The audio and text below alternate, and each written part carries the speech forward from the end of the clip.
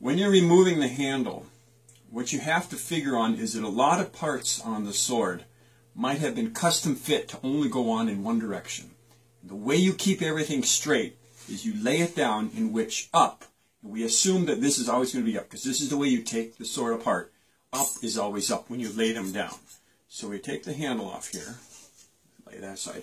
Now we have the spacer, and we keep that the same way up. We lay it right on the floor. Now the guard comes. Guards are tricky. Some guards, they'll, they'll, they are tricky. You have to tap them off.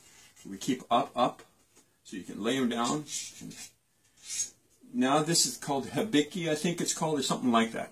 What I learned is to take, these often are stuck on, and you can't get them off. But if yours come off, the best way to take it off is to not squeeze it from the edge, because you'll break the seam.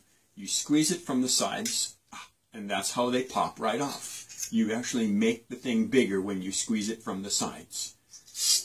And now that's off, and now we're ready to uh, examine the sword well and start cleaning it. Thank you.